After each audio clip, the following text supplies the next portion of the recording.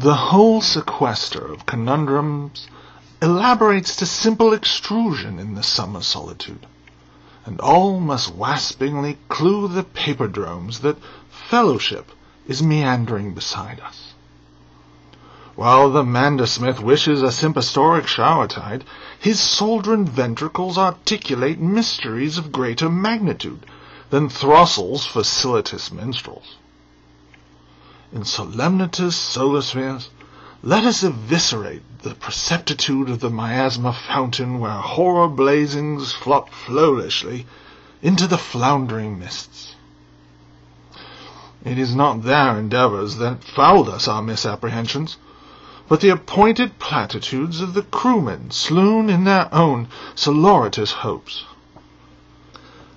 Now, keep Falstaff to the phantasmed hollow days of our boorish hewn commiserations, and whisper linger browsing swift motes upon my dowsing.